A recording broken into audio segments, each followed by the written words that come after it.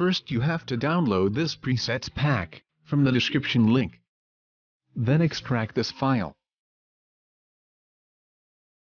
and open it. You can see there 15 matte transition clips. Let's see how to import into Premiere Pro. Select all, then just drag them over to the project panel inside Premiere Pro.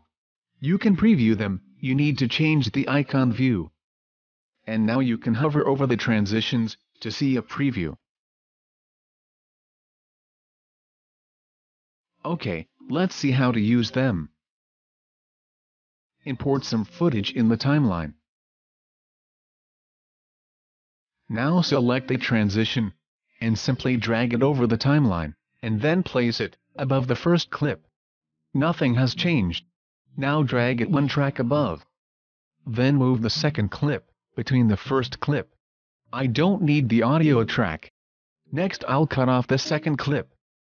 Then put it back on the first track. Now go to the effects panel. Search for the track matte key effect. Now apply this effect that we cut off on the second clip. Next step, go to the effects control panel. First we're going to select the layer that we're going to use as a matte. In this case, we're going to select layer 3, which is our transition video. And our transition ready.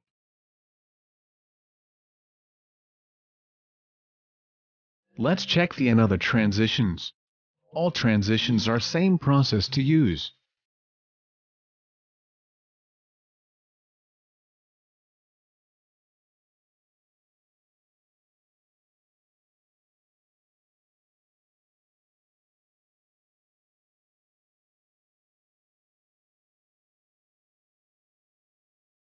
Thank you for watching, I'll see you in the next one, have a good day.